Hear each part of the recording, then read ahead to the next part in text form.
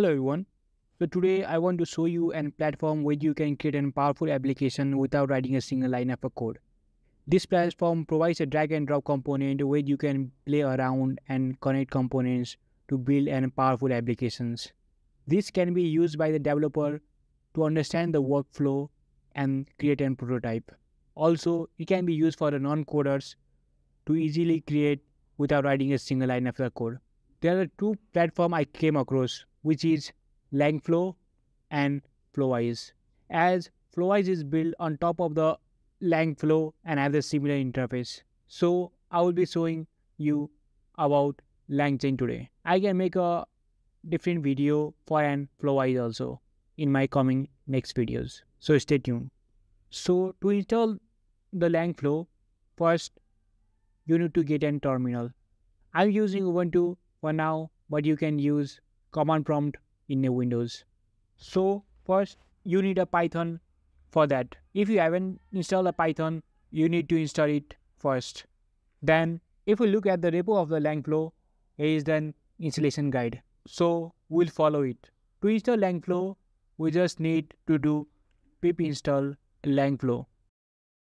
I have already installed the Langflow, so it said requirement already satisfied, but it will take some time in your case. Some of you might come to an issue of an build fail in a Windows. That's because of your C++ compiler. To solve that problem, you need to install a Visual Studio with C++. Otherwise, you are good to go. After you have successfully installed the Langflow, just type Langflow and there will be the IP address which is localhost opening at the port 7860. You can follow the link to go to the UI of an Langflow. The Langflow is simple drag and drop interface. So let's see some of the component. We have an agents like CSV agent, JSON agent, SQL agent, and some chains like conversation chains, LLM chains, and also Midjourney prompt chain. In the loader section, we can see CSV loader, PDF loader, text loader, and web-based loader. So if you have seen my previous video, they're all the component that we use to build our PDF and website chatbot. So let's see a quick prototype for a chatbot. To create a simple chatbot like a ChatGPT, we require an conversation chain. So let's drag drop here. The conversation chains require a LLM. The LLM is basically large language model. So the language model can be of GPT, OpenAI, or Flan-T5 as you have seen in my previous video. As of now, the Langflow doesn't support open source model or it does. There are some models like Llama and other that you can install yourself and try it on. So if you see in LLMs, we can see C Transformer, Chat OpenAI and OpenAI only. The Chat OpenAI is basically ChatGPT API and OpenAI is the older GPT-3 model like DaVinci. You can select any one of it if you have an API key for it. So if I drag an OpenAI, we can see a red button here. This indicates if everything is configured correctly. Now to create an conversation chain, we just connect OpenAI with LLM in a conversation chain. Now it's everything is done. You might require an API key for this. So for inference, just click on this button. Now you can type anything here and get a response. The Langflow also provides API interface which you can use in production. To see that, you can select an code button above here. Then there are two APIs for Python APIs and for Python code. For an API, you just need an API route here and the function that does something like this. If you see here, we just need an JSON file that is loaded here. To get this JSON file, you can just export from here giving any name you like. After you are done with drag and drops everything, then you can download the JSON file of an Langflow and you are good to go.